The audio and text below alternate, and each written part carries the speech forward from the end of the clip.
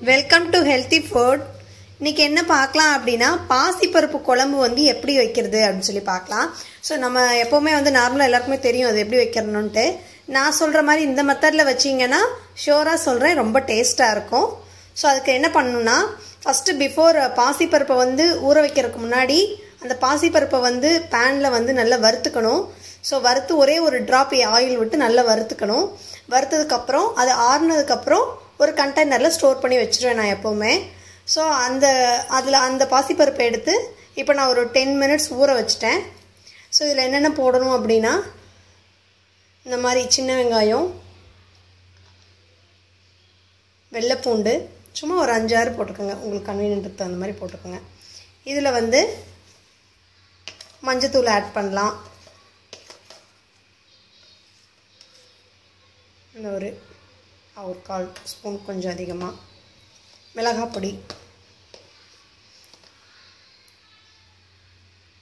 நான் இன்னும் கொஞ்சமே போடுவேன். இந்த மிளகாய் பொடி வந்து கொஞ்சம் காரம் கம்மியாக இருக்கிறதுனால நான் இன்னும் கொஞ்சம் ஆட் பண்ணிக்கிட்டேன். இன்னும் இன்னும் கொஞ்சம் கூட போட்டுக்கலாம். ஏன்னா இது பருப்பு தானே. கொஞ்சம் காரம் அதிகம் இருந்தாலும் காரம் வந்து ரொம்ப தெரியாது. ஸோ மிளகாய் பொடி போட்டாச்சு. இப்போ நல்லா ஒரு இது பண்ணிக்கலாம். பார்த்தீங்கன்னா இந்த பருப்போட தண்ணி வந்து கொஞ்சம் கம்மியாக ஊற்றிருக்கேன் இன்னும் கொஞ்சம் தண்ணி ஊற்றிக்கலாம் அதே மாதிரி இன்னொரு விஷயம் என்னென்னா இந்த பருப்பு வேக வைக்கிறதுக்கு ஃபில்டர் வாட்டர் தான் நம்ம வந்து யூஸ் பண்ணணும் எப்போவுமே. அப்போ தான் வந்து பருப்பு வேகமாக கொஞ்சம் நல்லா வேகும். பாசிப்பருப்பு துவரம் பருப்பு எதுவாக இருந்தாலும் ஃபில்டர் வாட்டர் தான் யூஸ் பண்ணணும். இந்த பருப்பை நான் வந்து கழுவிலே ஃபில்டர் வாட்டர் தண்ணியில் தான் கழுவுவேன். அந்த ஊற வைக்கிற தண்ணியுமே வந்து ஃபில்டர் வாட்டர் ஃபில்டர் வாட்டர் தான் நான் யூஸ் பண்ணுவேன். ஸோ இப்போ இதை வந்து இதை என்ன பண்ணலான்னா ஒரு ஸ்பூன் இப்போ இதெல்லாம் ரெடி ஆனதுக்கப்புறம் இதில் ஒரு ஸ்பூன் நல்லெண்ணெய் விட்டுக்கலாம். இப்போ இதை வந்து அடுப்பில் வச்சிடலாம். பார்த்தோன்னா இப்போ அடுப்பில் நான் வச்சுட்டேன். இதில் ஏன் வந்து ஒரு ஸ்பூன் நல்லெண்ணெய் விட சொன்னேன் அப்படின்னா பொங்கு வந்து இல்லாட்டி பருப்பு பாசிப்பருப்பு போட்டோடனே நல்ல பொங்கு வரும். அதனால தான் நல்லெண்ணெய் விட சொன்னேன். இப்போவுமே அடுப்பு வந்து ரொம்ப ஹையாக வைக்கக்கூடாது மீடியம் ஃப்ளேமில் வச்சுக்கலாம். இந்த தண்ணி நல்ல சூ ஓரளவுக்கு சூடானதுக்கப்புறம் இதை ஒரு கவர் ப இதில் அந்த மூடி வச்சு மூடிடலாம். பார்த்தீங்கன்னா தண்ணி சூடாயிடுச்சு. ஸோ இப்போ வந்து நான் அடுப்பை இன்னும் கொஞ்சம் குறைச்சிட்டு கவர் வச்சு மூடிடுறேன். பொங்கு வர்ற மாதிரி இருந்துச்சு அப்படின்னா ஒரு டூ மினிட்ஸ் எடுத்துக்கலாம். எடுத்து பார்க்கலாம். இன்னும் வந்து வெந்துக்கிட்டு இருக்கு. நல்லா வேகட்டும். ஸோ இது வெந்துக்கிட்டு இருக்கையிலே இந்த கேப்பில் என்ன பண்ணலாம் அப்படின்னா ஆனியன் பூண்டு தக்காளி இதெல்லாம் வந்து நம்ம கட் பண்ணிடலாம். இது வெளுந்து வெந்துக்கிட்டே இருக்கட்டும். வேகட்டும் நல்ல. இப்போ என்ன பண்ணலான்னா இது கூட கொஞ்சம் வந்து விளக்கெண்ணெய் ஆட் பண்ணிடலாம்.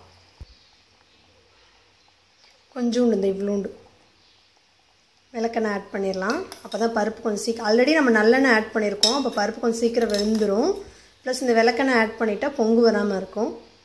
இப்போ வந்து நம்ம அந்த லிட்டை வந்து மூடி வச்சிடலாம்.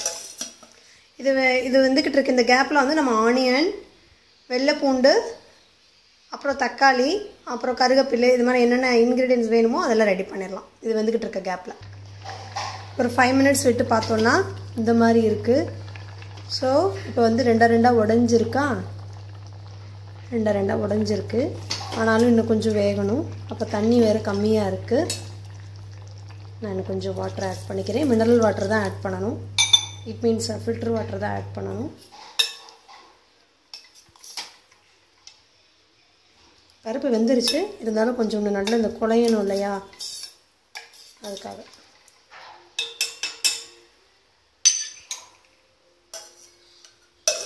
வேகட்டும். நான் சிம்மில் வச்சு தான் விட்டுருக்கேன். நான் எப்போவுமே சிம்மில் தான் வந்து ப்ரிஃபர் பண்ணிக்குவேன். அந்த பருப்பு ஐட்டம்ஸ் எல்லாம் இந்த மாதிரி குண்டாவில் வைக்கிறப்போ. ஸோ அப்புறம் இன்னொன்று என்னென்னா இதில் நான் வந்து ஒரு டம்ளர் பருப்பு வந்து நான் போட்டிருக்கேன். ஒரு டம்ளர் பருப்பு வந்து இதுக்கு நான் போட்டிருக்கேன். இப்போ ரெண்டு பேருக்கு தான் அப்படின்னா இது நான் ஹாஃப் டம்ளர் போட்டிங்கனாவே போதும். அப்புறம் இன்னொன்று என்ன அப்படின்னா இதில் ஒரு டம்ளர் அதாவது நான் ஒரு இப்போ நைட்டு இப்போ நீங்கள் மார்னிங் அடுத்த நாளுக்கு வந்து எடுத்துகிட்டு போகணும். இல்லை இப்போ நைட்டு இப்போ நம்ம நைட்டே இதை வந்து இந்த குழம்பு வச்சு வச்சிட்டோன்னா மார்னிங் இட்லிக்கு ஊற்றிக்கலாம் இப்போ நைட்டு தோசைக்கு வச்சுக்கிட்டோம்னா மார்னிங் இட்லிக்கு இதுவே நம்ம யூஸ் பண்ணிக்கலாம். ஒன்றும் பண்ணாது. இன் மீட் சம் கேசஸ் வந்து ஆஃப்டர்நூனுக்கே நம்ம பேக் பண்ணி எடுத்துகிட்டு போனாலும் வந்து இது கெடாது. ஸோ அந்த மாதிரி நம்ம நல்லா வேக வச்சு எடுத்துறதுனால கெடாது. தக்காளி வேறு ஆட் பண்ணுறோம் இல்லையா? அதனால் பருப்பு வந்து கெடாது.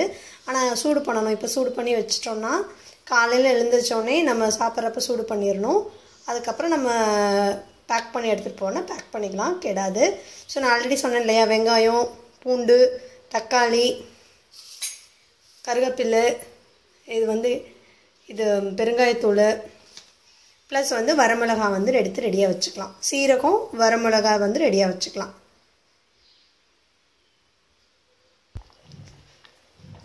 இப்போ பார்த்தீங்கன்னா வெந்துருச்சு. பருப்பு நல்லா வெந்துருச்சு.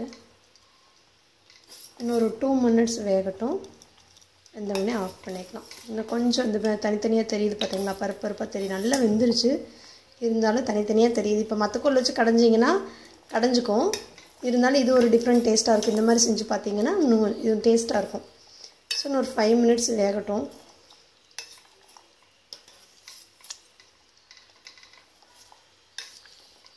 ஒரு ஃபைவ் மினிட் ஃபைவ் மினிட்ஸ் கூட வேணாம். ஒரு டூ மினிட்ஸ் போதும். அவ்வளோதான் ரெடி ஆகிடுச்சு ஓவர் ஆகிடுச்சு ஒரு டூ மினிட்ஸ்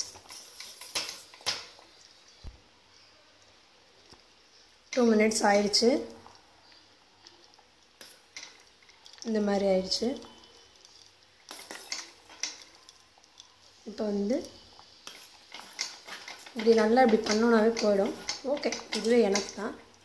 ரெடி ஆகிடுச்சு இப்போ வந்து அடுப்பை ஆஃப் பண்ணிடலாம். இப்போ ஆல்ரெடி நம்ம கட் பண்ணி வச்சதெல்லாம் வச்சு நம்ம தாளிச்சிடலாம் இப்போ பார்த்தீங்கன்னா இன்னொரு பாத்திரம் அடுப்பில் வச்சுக்கோங்க. வச்சு எண்ணெய் ஊற்றிக்கோங்க உங்களுக்கு எந்த எண்ணெய் நல்லெண்ணெயோ கடலெண்ணெயோ எந்த எண்ணெய் யூஸ் பண்ணுறீங்களோ அது யூஸ் பண்ணிக்கோங்க. நான் இதில் வந்து கடலெண்ணெய் வச்சுருக்கேன். யூஸ் பண்ணிக்கோங்க. எண்ணெய் கொஞ்சம் காஞ்சோடனே அதில் வந்து சீரகம் போடலாம். இன்னும் காயில். சீரகம் போட்டுக்கலாம்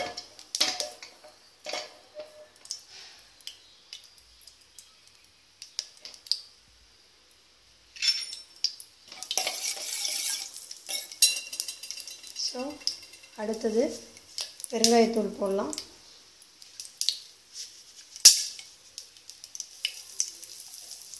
பெருங்காயத்தூள் போட்டு ஆனியன் வெள்ளைப்பூண்டு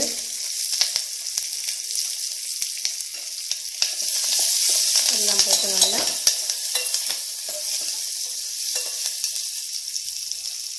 கிளறிக்கலாம்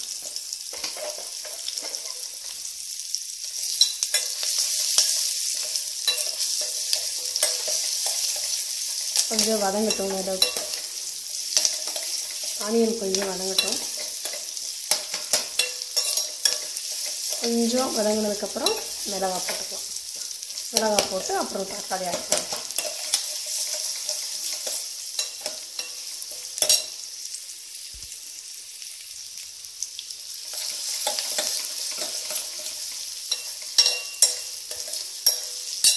இது கூட மிளகா ஆட் பண்ணிடுவோம். இன்னும் கொஞ்சம் ஆனியன் நல்லா வதங்கட்டும்.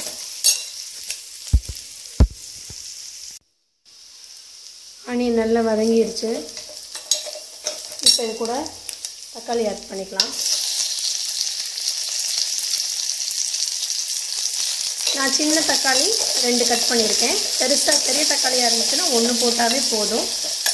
அந்த தக்காளி நல்லா வதங்கட்டும்.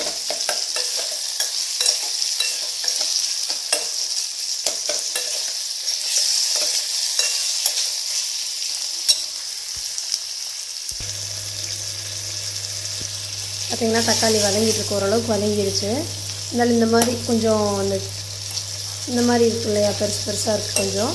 ஸோ ஓரளவுக்கு வதங்கினதுக்கப்புறம் அப்படியே வந்து நீங்கள் பருப்பு ஊற்றினாலும் ஊற்றிக்கலாம் நான் அந்த தோல் தனியாக வரணும்னு எக்ஸ்பெக்ட் பண்ணுவேன்.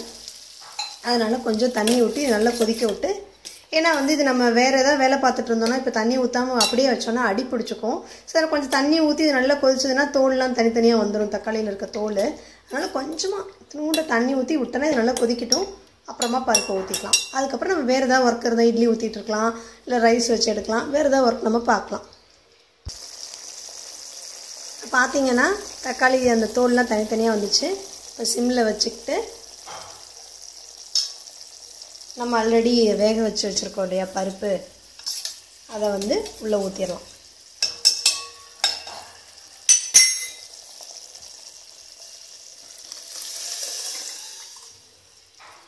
இதை கொஞ்சம் தண்ணி விட்டு கழுவி ஊற்றிடலாம்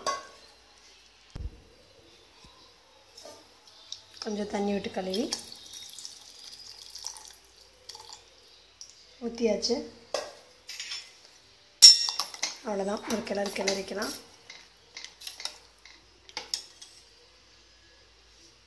இப்போ இது கூட வந்து நம்ம உப்பு ஆட் பண்ணிக்கலாம். நல்லா கொதிக்கட்டும். எவ்வளோ அளவுவோ அதுக்கு தகுந்த மாதிரி ஆட் பண்ணிக்கலாம்.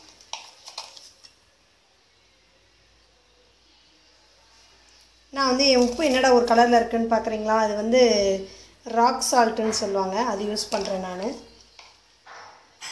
நீங்கள் நார்மலாக என்ன உப்பு யூஸ் பண்ணிக்கிறீங்களோ அது யூஸ் பண்ணிக்கோங்க. இது நல்லா கொதி வந்தவுடனே ஆஃப் பண்ணிடலாம் அவ்வளோதான்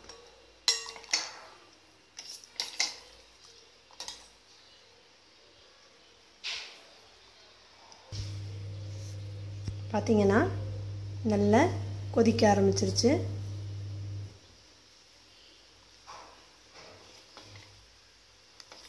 இப்போ வந்து பாசிப்பருப்பு குழம்பு ரெடி ஆயிடுச்சு. இதை வந்து இப்போ நம்ம ஆஃப் பண்ணிடலாம். நல்லாவே கொதிக்குது. இந்த மாதிரி கொதிக்கிறப்ப இப்படி கிளறிடணும். இல்லாட்டி அடி பிடிச்சிரும். ஸோ இப்போ நான் ஆஃப் பண்ணிடுறேன்.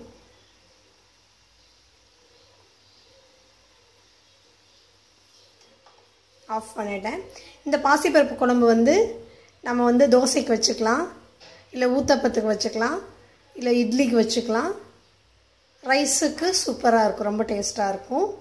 ஸோ நீங்கள் செஞ்சு பாருங்கள் இந்த மெத்தடில் செஞ்சு பாருங்கள் உங்களுக்கு பிடிச்சிருந்தா உங்கள் கமெண்ட்ஸை ஷேர் பண்ணுங்கள் சேனலை சப்ஸ்கிரைப் பண்ணுங்கள் தேங்க்ஸ் ஃபார் வாட்சிங்